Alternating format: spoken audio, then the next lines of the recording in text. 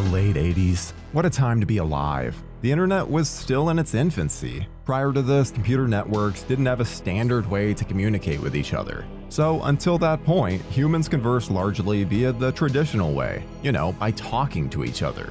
Sometimes in person. Radical, I know. The year on which this video is focusing, 1988, saw many weird and wonderful horror movies emerge that I had the pleasure of sneaking onto our old tube TV Saturday nights, when our folks were out with their friends, would see my brother and I stick the likes of Return of the Living Dead Part 2, Maniac Cop, Pumpkinhead, Child's Play, and Elvira Mistress of the Dark.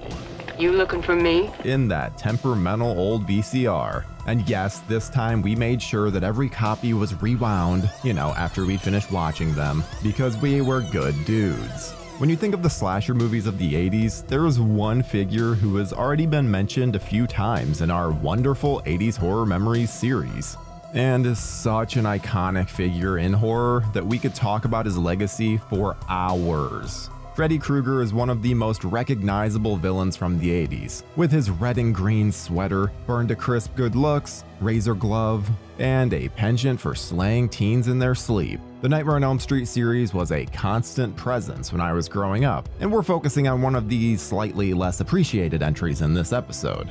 Part 4 The Dream Master. So, after a classic first movie and two decent sequels, could Part 4 continue the slash happy antics of Freddy Krueger? Or is it better left languishing in a bad dream? Wanna suck face? No.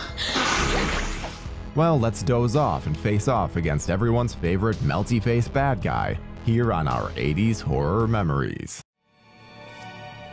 If food don't kill you, the service will.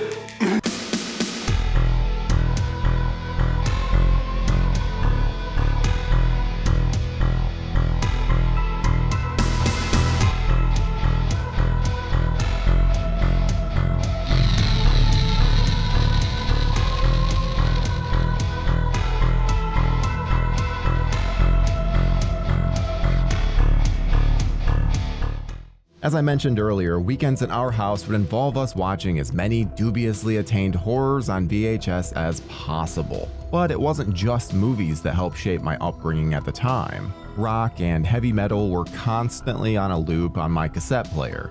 Metallica's And Justice for All was blasted out regularly. And after the first side had finished with one, I tried to rewind it for roughly 8 minutes so that I could listen again right from the beginning. Then I'd flip it over for the delights of side 2. While classic albums such as this belted out, I'd be kicking ass on Altered Beast or It Came From the Desert on the Amiga 500. I used to freak out when one of the characters in the game suddenly became an ant person.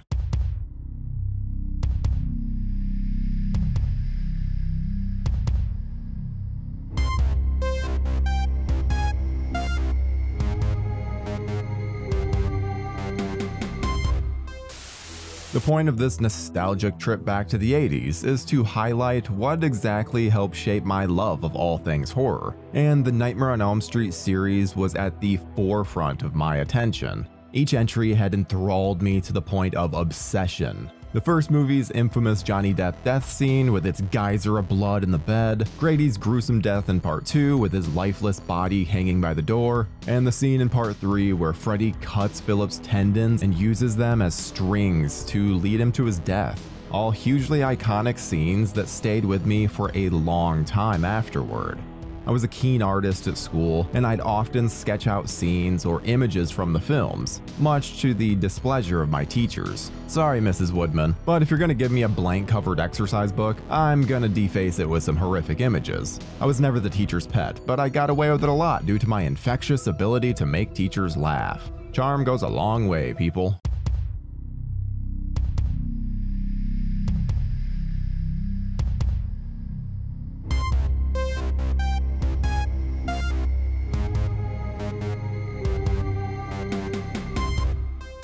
As a family, a trip to the local cinema was a regular occurrence in the 1980s, but it was normally to see age-appropriate films such as Back to the Future, Indiana Jones, and even the ever so risque and quite violent shark-infested Bond flick License to Kill. However, for parents who were always very liberally minded, they never took us to see a horror movie. Until that is, my dad couldn't wait any longer to introduce one of his favorite horror villains to me when I was definitely not an appropriate age to see it Freddy Krueger in The Dream Master. It was the first horror film that I saw on the big screen, and probably the last that my dad took me to. I vividly remember screaming and crying when Freddy was revealed to be the nurse. So I was swept up and dragged out of there before you could say, 1 2, Freddy's coming for you.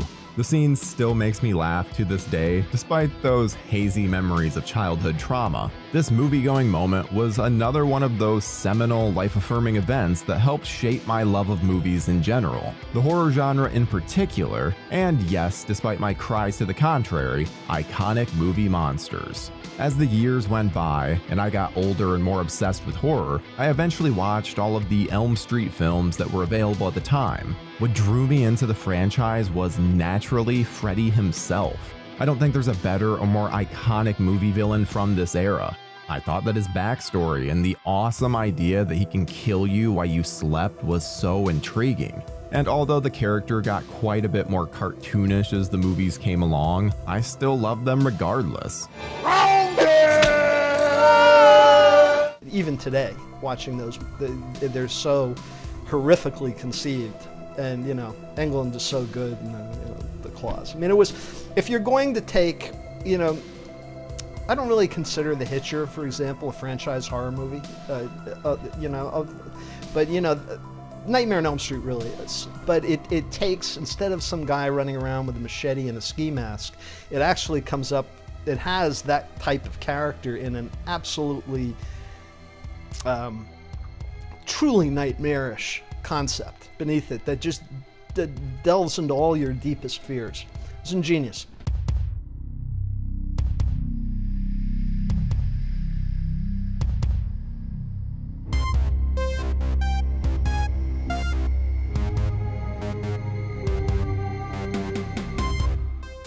Up until the chance I got to finally see the Dream Master in its entirety, the entry that had really stuck with me, apart from the Johnny Depp slaughtering opening part, was number 3, The Dream Warriors. I love that movie in all of its wonderfully demented glory. I found the cast of characters all extremely likable. Freddy began quipping some great one-liners. And it boasted some of the most inventive kills of the entire franchise. The aforementioned puppeteering of Philip via his ripped out veins was fantastic.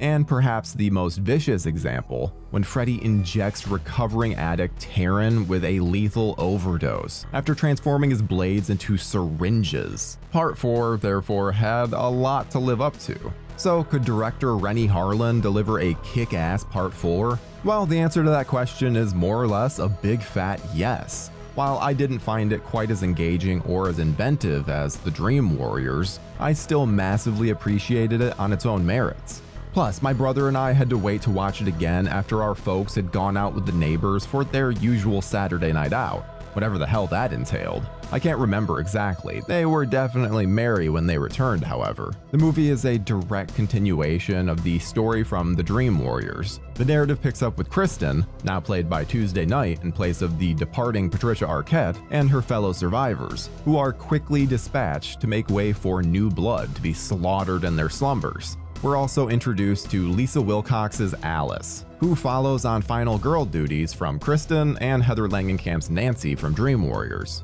Alice's transition from a meek waitress to a formidable, empowered woman by the film's end really stuck with me as a kid, just as the way that the kids from Dream Warriors fought Freddy had also done. I also dug how Freddy uses Alice to gain access to his new victims. What I remember the most about the Dream Master, when we spent that Saturday night in our living room hunkered around that shitty old tube TV, was that although I preferred part 3, I loved how it took the highlights of that movie and tried to crank them up to 11. What worked so well here for me was how Freddy was still Freddy. He hadn't become a caricature of himself as he did in later sequels. His one liners were awesome, especially one around the 20 minute mark when poor horny Joey meets his maker. Joey falls asleep in his room and sees a model from one of his posters swimming naked in his waterbed. Freddy pulls Joey into the waterbed, kills him, and we see the bed slowly fill with blood, along with Freddy's hilarious, How's this for a wet dream?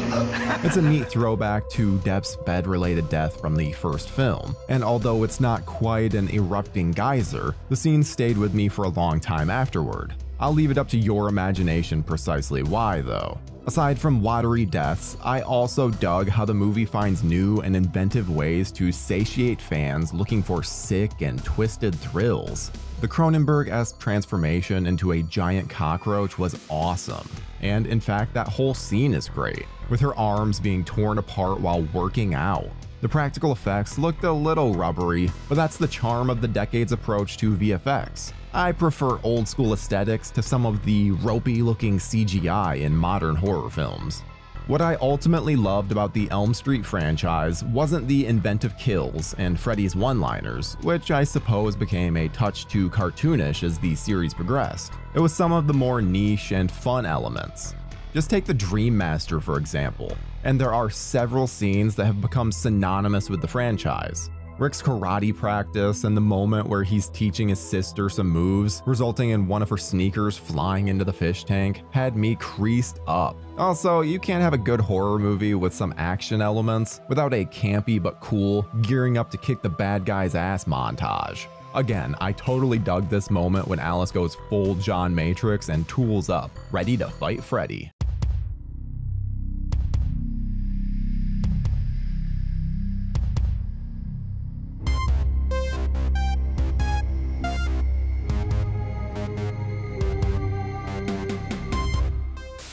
Ultimately, A Nightmare on Elm Street 4 The Dream Master remains one of my all time favorite entries in the series.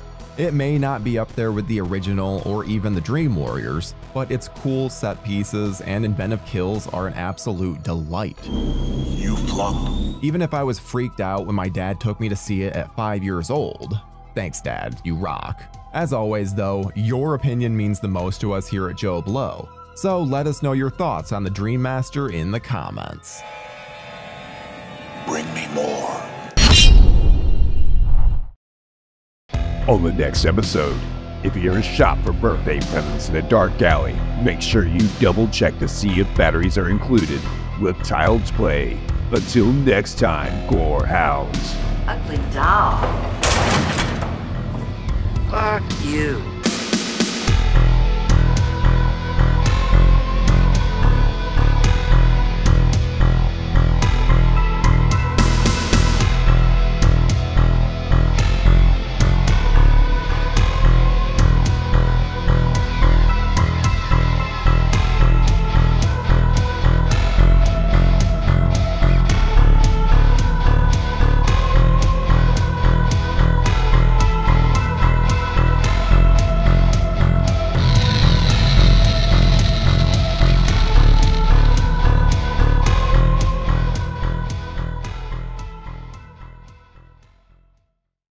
Hi, friends. Your humble narrator, Tyler Nichols here, and I hope that you enjoyed that episode of 80s Horror Memories.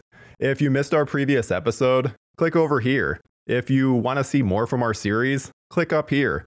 And if you're not subscribed yet, what are you doing? Subscribe right here. And most importantly, stay spooky, folks.